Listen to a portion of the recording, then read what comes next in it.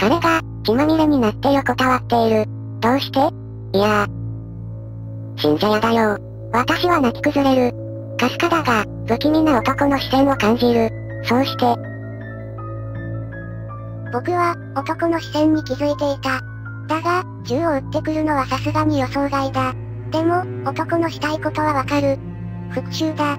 過去に僕の父が殺人を犯した時に、その男の家族が巻き込まれたのだろう。その復讐を孫の僕にしてきたなら、まだ辻褄が合う。あの場からフランと逃げていれば、くっそ。う。あら、起きたのね。あれ、レミリアさん？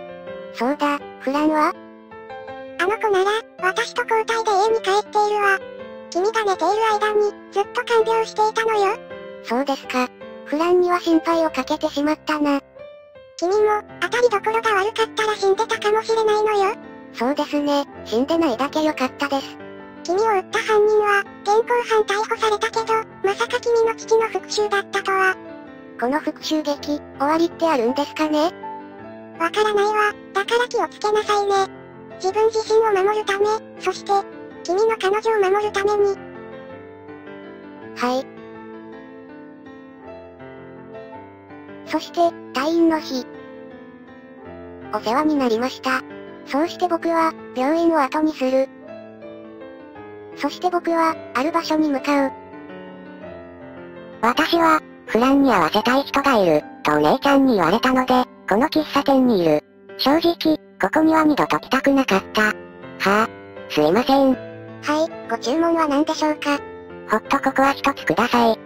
かしこまりました。ご注文は以上でよろしいでしょうか？あ、そのホットココア一つ追加で。え？そこには彼が立っていた。なんで、どうして？今日退院したんだよ。え、だってお姉ちゃんは一週間かかるって？はあ、レミリアさん、ちゃんと嘘ついてるじゃないですか。まあ、そんなことは置いといて。ごめんな、フラン。心配かけて。